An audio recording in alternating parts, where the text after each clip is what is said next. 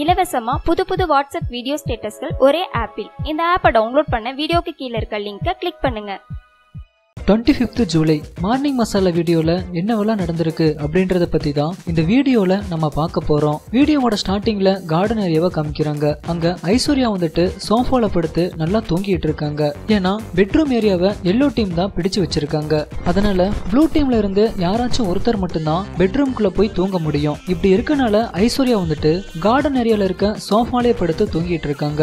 அடுத்த ஃப்ரேம்ல கிச்சன் ஏரியாவை காமிக்கிறாங்க. அங்க ஷாரிக் டேனியல் மகத் சென்ட்ராயன். இப்படி இவங்க எல்லோரும் இருக்காங்க. குறிப்பா ஷாரிக் மற்றும் மும்தாஜ். இவங்க ரெண்டு பேர்த்துக்கு இடையில நேத்து ஒரு மிகப்பெரிய சண்டை நடந்திருக்கு. அந்த சண்டையில மும்தாஜ் எதிர்த்து ஷாரிக் பேசியிருக்காரு. பதிலுக்கு மும்தாஜும் செம்ம கோபத்துல ஷாரிக்க திட்டியிருக்காங்க. அதனால இப்போ சென்ட்ராயின் வந்துட்டு நீ மும்தாஜ அப்படிலாம் பேசியிருக்க கூடாது அப்படின்னு ஷாரிக்கு அட்வைஸ் பண்ண வராரு. அப்போ மகத் வந்துட்டு டேய் நடுவுரையெல்லாம் கை நீட்டி பேசக்கூடாதுடா. இது ரொம்பவே தப்பு அப்படின்ற மாதிரி மகத் சென்ட்ராயினை பார்த்து சொல்லிட்டு இருக்காரு. அதை கவனிச்ச டேனியல் வந்துட்டு விடு விடு அவங்க ரெண்டு பேர் பேசட்டும் அப்படின்ற மாதிரி மகட்ட சொல்றாரு. அதுக்கப்புறம் சென்ட்ராயனும் ஷாரிக்கும் பேசிக்கிட்டு இருக்காங்க. அடுத்த ஃப்ரேம்ல பாத்ரூம் ஏரியாவை காமிக்கிறாங்க. அங்க வைஷ்ணவி மட்டும் தனியா ஃபீல் பண்ணிட்டு உட்காந்துருக்காங்க ஏன்னா நேத்து மகத் வந்துட்டு வைஷ்ணவிய செம்மையா திட்டிருக்காரு. அதை நினைச்சுதான் இப்போ வைஷ்ணவி ஃபீல் பண்ணி உட்காந்துருக்காங்க அப்புறம் அடுத்த ஃப்ரேம்ல கார்டன் ஏரியாவை காமிக்கிறாங்க. இன்னமும் ஐஸ்வர்யா எழுந்திருக்காம நல்லா படுத்து தூங்கிட்டு இருக்காங்க. பொன்னம்பலம் சார் வந்துட்டு பாட்டு பாடிட்டே நடந்துட்டு இருக்காரு. அப்புறம் அடுத்த ஃப்ரேம்ல பிக் பாஸ் ஜெயிலுக்குள்ள தாடி பாலாஜி இருக்கிறத காமிக்கிறாங்க. அப்போ அவர் வந்துட்டு கொசு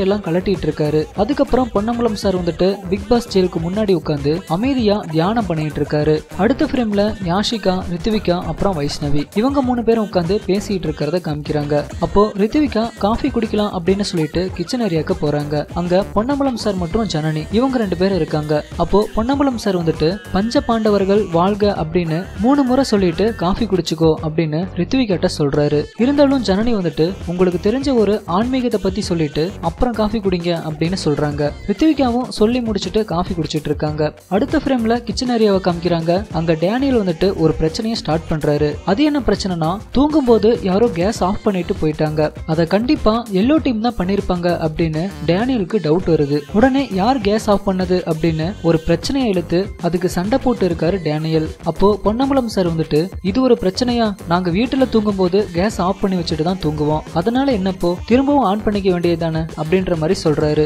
இருந்தாலும் டேனியல் வந்துட்டு கேஸை யார் ஆஃப் பண்ணது அப்படின்னு செம்ம காண்டுல எல்லோர்ட்டையும் கேட்டுட்டு இருக்காரு கொஞ்ச நேரம் கழிச்சு எல்லோரும் குரூப் குரூப்பா ஒரு டிஸ்கஷன் பண்ணிட்டு இருக்காங்க அது என்ன டிஸ்கஷன்னா சோப்பு அப்புறம் உப்பு. இதையெல்லாம் எடுத்து டாஸ்ங்கிற பேர்ல தலையில அடிக்கணும். இது ரொம்பவே கேவலமா தான் இருக்கு. இந்த டாஸ்க் கண்டிப்பா டேனியலோட ஐடியாவா தான் இருக்கும் அப்படின்னு எல்லோரும் டிஸ்கஸ் பண்ணிட்டு இருக்காங்க அப்போ யாஷிகா டீ குடிக்கலாம் அப்படின்னு சொல்லிட்டு பாத்திரம் வாஷ் பண்ணிட்டு இருக்காங்க அப்போ மறுபடியும் அந்த உப்பு சோப்பு டாஸ்க் பத்தி மேட்டர் இழுக்கிறாங்க. யாஷிகா இதை பத்தி ஏற்கனவே டிஸ்கஸ் பண்ணியிருப்பாங்க போல. அதனால யாஷிகாவை பார்த்து கேட்குறாங்க அப்போ யாஷிகா வந்துட்டு நான்லாம் எதுவும் சொல்லல. உங்களுக்கு ஆயிரம் ஐடியா தோணி இருக்கும் ஆனா இந்த மாதிரியான ஒரு ஐடியா டேனியலுக்கு தான் தோணிருக்கும்னு தான் நான் சொன்னேன். அப்படின்ற மாதிரி யாஷிகா சொல்றாங்க. அதுக்கப்புறம் டேனியல் செம்ம காண்டில் இருக்காரு. தாடி பாலாஜி அதுக்கு மேல செம்ம காண்டில் இருக்காரு. அப்போ ஷாரிக் வந்துட்டு அண்ணா இது ஒரு போர். இதுல நீங்க என்ன தண்டனை கொடுக்க முடியுமோ கொடுங்க. டாஸ்களையும் அதுதான் போட்டிருக்கு. அப்படின்ற மாதிரி தாடி பாலாஜி சொல்றாரு ஷாரிக். அதுக்கு உடனே தாடி பாலாஜி வந்துட்டு பாத்ரூம் ஏரியா எங்களோடது தானே டாய்லெட்டுக்கு வரட்டும். அப்ப நான் கவனிச்சுக்கிறேன் அப்படின்ற மாதிரி சொல்லிட்டு இருக்காரு தாடி பாலாஜி.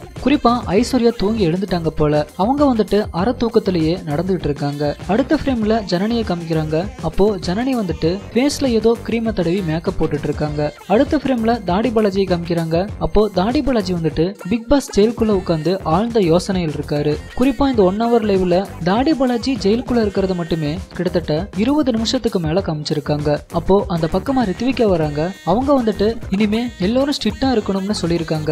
அப்படின்னு தாடி பாலாஜி கிட்ட சொல்லிட்டு கிளம்பி போயிடுறாங்க. இதோட மார்னிங் மசாலா வீடியோவை முடிச்சிட்டாங்க விஜய் டிவி அடுத்து என்ன நடக்க போகுது அப்படின்றத பொறுத்திருந்து பார்க்கலாம். சரி ஓகே ஃப்ரெண்ட்ஸ் இந்த வீடியோ பற்றின உங்களோட கருத்துக்களை கீழே இருக்க கமெண்ட் பாக்ஸில் கமெண்ட் பண்ணுங்க.